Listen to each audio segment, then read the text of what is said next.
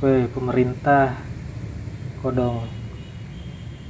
Memang itu solusi banjir itu hanya dengan meninggikan jalan kan?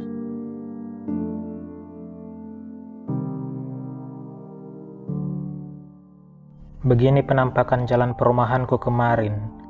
Bye-bye Ji. Bahkan kalau boleh dikata mulus. Ndak ada yang rusak. Ndak ada yang lubang-lubang kalau untuk banjir, selama 11 tahun saya tinggal di sini, memang jalan ini pernah beberapa kali terendam air. Mungkin hanya sekitar lima kali, dan tidak pernah masuk ke dalam rumah. Oh iya, pernah satu kali masuk ke dalam rumah. Banjir yang terakhir ini, enam bulan lalu. Tapi itu tergolong banjir yang tidak biasa, karena di tempat-tempat lain juga yang katanya tidak pernah kebanjiran, pada saat itu, mereka kebanjiran juga dan bahkan masuk ke dalam rumah. Ya, kalau boleh dikata ya, jalan perumahanku ini baik-baik saja. Yo guys, hari Rabu tanggal 2 Agustus 2023.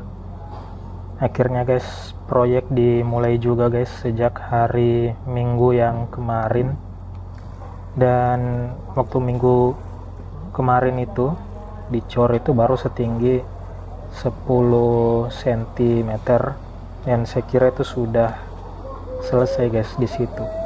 Tapi ternyata guys malam ini dilanjutkan lagi guys. Ditambah setinggi 20 cm lagi guys. Dan totalnya itu jadi 30 cm kalian bisa bayangin tingginya guys.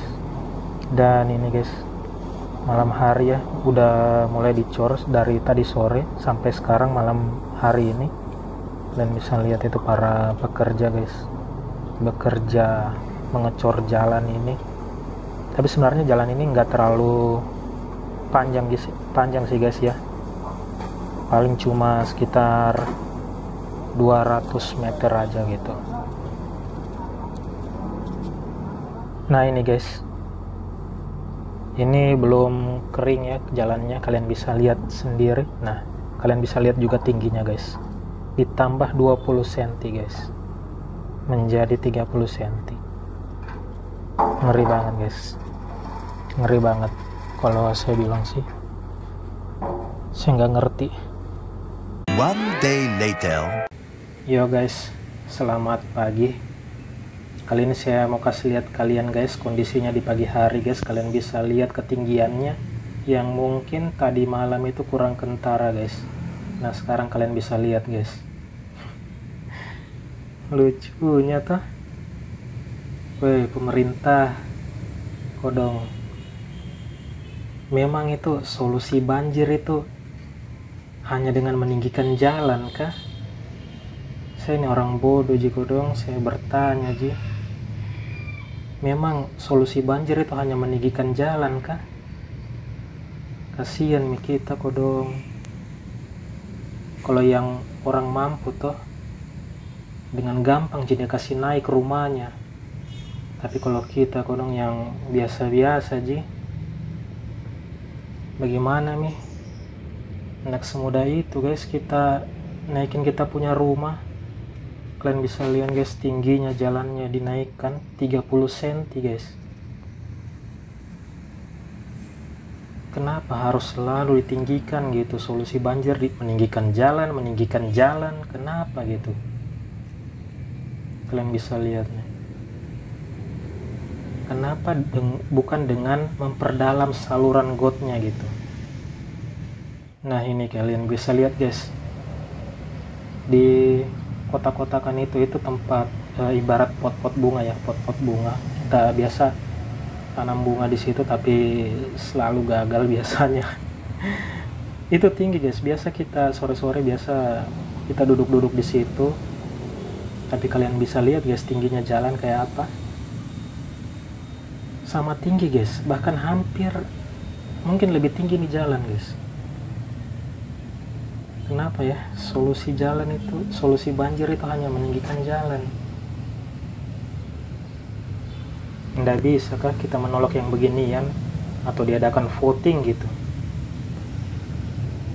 Saya yakin pasti kebanyakan warga sini nggak mau di jalan ini ditinggikan gitu. Karena baik-baik saja nih jalan nggak ada yang rusak. Bahkan kalau kami bilang toh kalau memang banyak danamu jamin anu di sini berikan pada yang lain gitu pada warga yang lain yang membutuhkan yang jalannya memang butuh di, untuk diperbaiki. Jangan mau ke di sini. Karena kami baik-baik saja. Berikan misalnya sama warga yang lain orang yang lain yang membutuhkan jalannya untuk diperbaiki. Saya yakin banyak yang mau jalannya diperbaiki. Tapi bukan di sini kok dong. Nah ini guys, kalau kalian mau lihat perbandingannya dilihat dari ketinggian pagarku guys. Kalian bisa lihat guys. Nah segini nih. Lihat perbedaan tingginya dengan pagarku. Tinggi banget guys. Dan ini pasti untuk kasih naik ke sananya ya supaya kita bisa lewat. Itu pasti kita keluar biaya lagi guys. Mereka nggak mau tahu itu kami nggak minta jalan ini diperbaiki jalan ini baik-baik saja mereka kasih naik tapi untuk ininya mereka nggak mau tanggung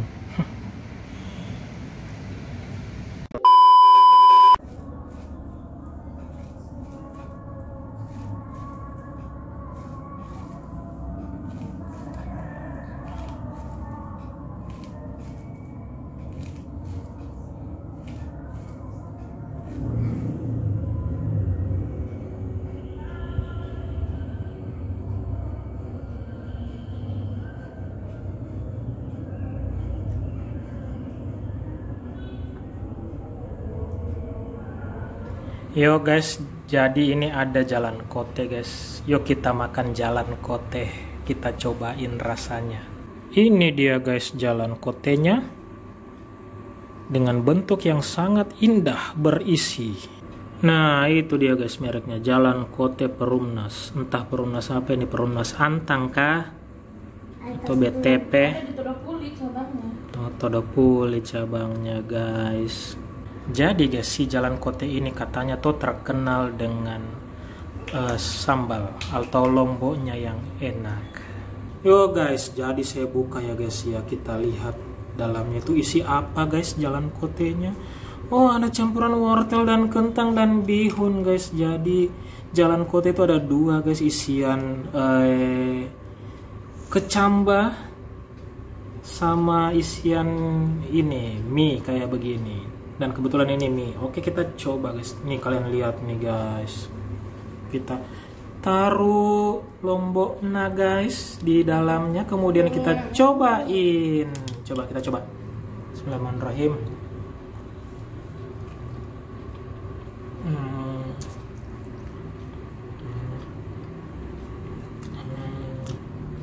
hmm.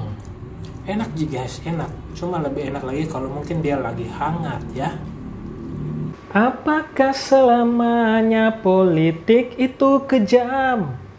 Apakah selamanya dia datang untuk menghantam? Banyaknya persoalan yang datang tak kenal kasihan, menyerang dalam gelap.